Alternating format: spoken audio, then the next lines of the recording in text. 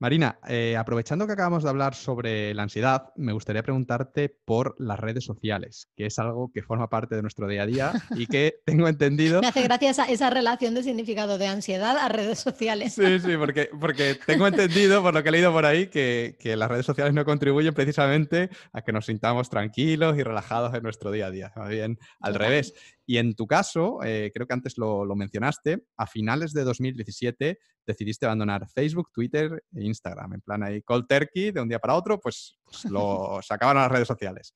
¿Por qué tomaste...? Bueno, no de un día para otro porque no te dejan de un día para otro. Tienes que esperar un tiempo, pero bueno, sí, yo te entendía. ¿Por qué tomaste esta decisión tan radical? Mm, bueno, porque me di cuenta de que no me hacían bien, de que tenían muchas, muchas cosas, tantas que, bueno, que, escribí otro artículo sobre eso, otro de mi Super Monster Pod lleno de razones y, que sigo considerando válidas, por las que las redes sociales yo creo que deterioran un montón de cosas de ti, tu atención, tu, empatía, tu, te traen un montón de pensamientos sobre compararte con los demás, em, te hacen mismo desde el punto de vista empresarial, ¿no? Te hacen creer que donde está el éxito de tu negocio es en las redes sociales, lo cual yo creo que es una mentira como una catedral de grande, mm, salvo excepciones, pero que en general hay muchas otras cosas de mucho más alto impacto que puedes hacer en lugar de estar todo el día haciendo directos de Instagram mi opinión. Y, bueno, por muchas, muchas razones distintas. Hay un libro también de, nunca me acuerdo del nombre, eh, Jaron, Jarson Larner, bueno, no lo sé, que se llama algo así como ¿Por qué deberías borrar todas tus cuentas de redes sociales ahora? No sé si lo conoces, el de no, no lo conozco. You're Not a Gadget, es otro de sus libros, no sé si te suena. No, no, no lo conozco. Bueno, pues luego lo busco y te lo paso también para las notas. Y, y también las razones que explica él y que también habla de temas de privacidad, de, temas también de que las redes alimentan un, un comportamiento gregario y, de hooligan que no tendrías en la vida real. En fin, muchas, muchas, muchas cosas que yo estaba viendo en mí misma y que no me molaban nada y, lo dejé y, no he mirado atrás desde entonces. Pero ¿cuál, cuál fue el punto que dijiste? Hasta aquí, ya esta es la gota que desborda el vaso, se, acabó, ya mañana lo cierro, esto no un, día que tuvieses malo, yo que sé, que estuvieses tres horas con Facebook y dijese, oye, a la mierda ya, se acabó. Pues fíjate, yo creo que lo, que lo que colmó el vaso fue una conversación que tuve con una amiga, una compañera de residencia, que me la encontré en una boda después de varios años sin verla. Y me dijo, ay Marina, que yo te quería decir que, esa conversación que tuvimos por Facebook, que, que bueno, que a mí me afectó bastante porque tú me dijiste no sé qué, y yo no me acordaba. Y yo pensé, tuve una conversación con esta chica que hablando de algo del trabajo, no me acuerdo, pero no, me acordaba y era una conversación claramente en la que yo había sido ofensiva con ella y agresiva y que no le habría dicho eso cara a cara seguro. Y pensé, tío, saca lo peor de mí, la puta red esta paso. no quiero tener esta experiencia de, mm, yo qué sé, de, meterme en discusiones sobre cosas. En fin, me parece, me parece antinatural. Yo creo que ahí, eso debió de ser porque la boda fue en septiembre. Yo creo que de Facebook me quité por ahí, por septiembre, octubre, y fue una de las cosas que más me marcó. Y bueno, ya han pasado dos años, nos has dicho que, no has mirado hacia atrás, ni siquiera te has creado una cuenta de Facebook para tu negocio, en plan de, de poner anuncios y demás. ¿Qué has aprendido de esta experiencia de, más de dos años absolutamente sin, ninguna red social? ¿Cómo, sientes tú que ha afectado a tu vida esto de estar fuera de Facebook, de Twitter y de Instagram? A, mí me ha dado más tranquilidad, más calma mental, no tener tanto input en mi cerebro, no tener tantas distracciones. Mm, hay cosas que he hecho en falta, por ejemplo, porque, a ver, a mí Facebook nunca me ha gustado, Twitter me ha disgustado abiertamente, Twitter me tenía que obligar a utilizarlo, pero Instagram me encantaba. Instagram es súper adictivo y, me encantaba. Luego me dejó de gustar un poco cuando cambiaron el algoritmo y no te presentaban el feed por orden cronológico y de hecho yo creo que eso fue lo que me hizo poder quitarme por fin, pero me gustaba muchísimo.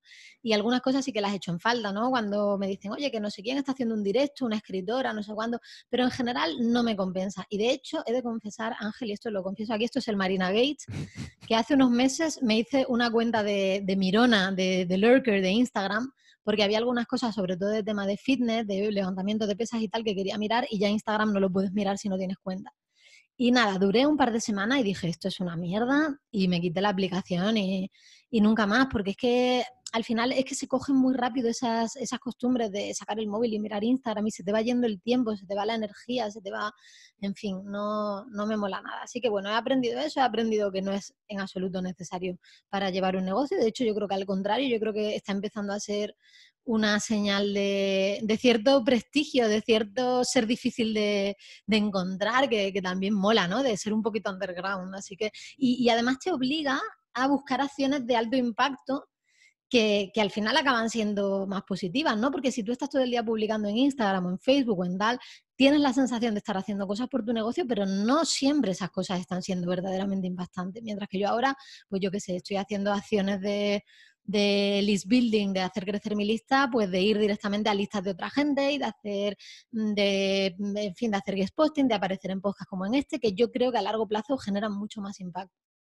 Sí, yo también a la hora de hacer crecer un negocio, a ver, la publicidad eso es un tema, un tema aparte, la publicidad sí que pienso que, funciona y que en ciertos casos pues es, eh, es útil. Yo la, la utilizo y la, he utilizado, pero yo, por ejemplo, mi negocio, esto es algo que yo creo que hice bien al principio, que fue pasar totalmente de, redes sociales y centrarme, pues eso, en crear contenido de calidad, en newsletter, productos, pero no caer en la obligación de sentir que tengo que publicar mi vida en las redes sociales para que la gente esté en contacto y no sé qué, porque al final es como contenido muy que caduca muy rápido, ¿no? Tú lo publicas y, dos horas más tarde ya está sepultado por otros contenidos, ya nadie es muy difícil acceder a él, ya queda como anticuado, ¿no? Ya, ya la gente no le interesa, ¿no? E incluso el tipo de gente que te llega, yo creo que, yo personalmente creo que me llega suscriptores de más calidad que llegan después de haberse leído un artículo mío de 5.000 palabras que después de haber leído un tuit ingenioso o una de esto de Instagram inspiradora, no sé, creo. Esto tampoco tengo